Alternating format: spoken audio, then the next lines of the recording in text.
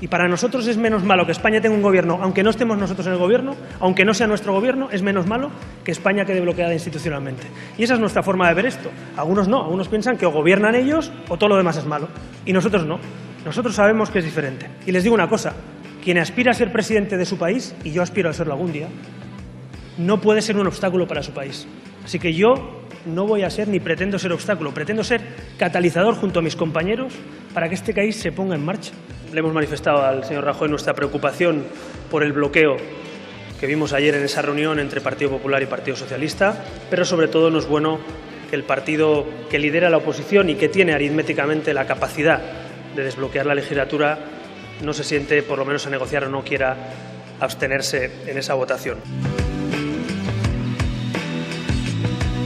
Le pido por favor al señor Sánchez que acceda por lo menos a negociar esa abstención, que pida lo que crea conveniente, las reformas que crea conveniente, las leyes que crea conveniente, pero que no bloquee este país.